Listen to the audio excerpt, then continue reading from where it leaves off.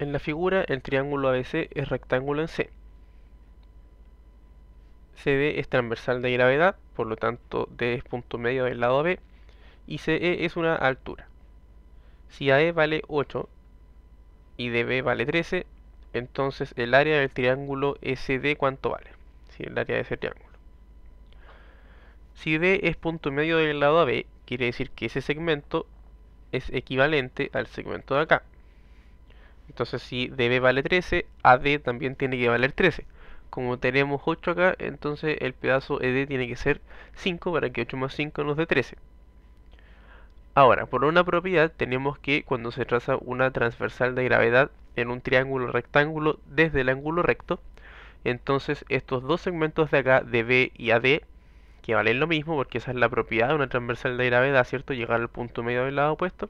Entonces solo cuando se traza desde el ángulo recto, estos dos segmentos miden lo mismo que la transversal en sí, ¿cierto? Entonces si cada uno de estos segmentos de abajo vale 13, la transversal también vale 13. Eso solamente cuando la transversal se traza desde el ángulo recto. Ahora, como eso vale 13 y tenemos que este es un triángulo rectángulo, se da el trío pitagórico 5, 12, 13. Así que sabemos que la altura tiene que ser 13, tiene que ser 12.